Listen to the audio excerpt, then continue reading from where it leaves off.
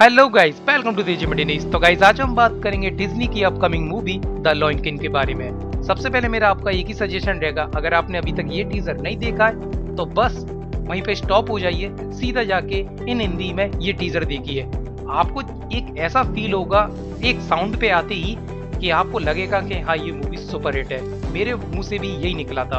और देन बात करते हैं अब इसके रिव्यू के बारे में। तो डिज्नी की इस साल ये टीजर ने कमाल कर दिया। और मूवी 2019 में रिलीज़ होगी जुलाई के महीने में। तो मेरे हिसाब से ये सुपर हिट जाएगी।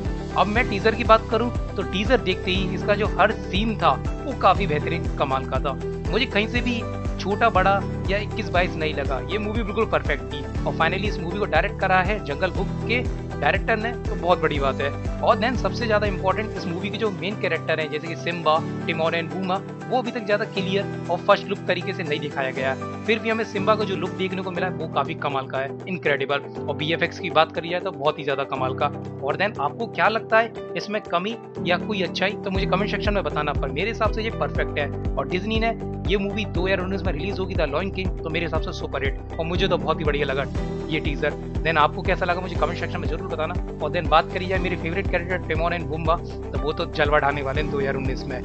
तो गाइस कैसा लगा ये रिव्यू अगर आप ये वीडियो यूट्यूब पे देख रहे हो तो मेरे चैनल को सब्सक्राइब करें फेसबुक पे देख रहे हो तो पेज को लाइक करें। रियली में आपको यूट्यूब पसंद आया तो प्लीज़ लाइक कमेंट शेयर करो, जो बंद इस वीडियो को नहीं देखे या तो उस पर टिमोन के हाथ मारो, या पैर मारो। और और कुछ मत मानना। बाय जा रहा हूँ।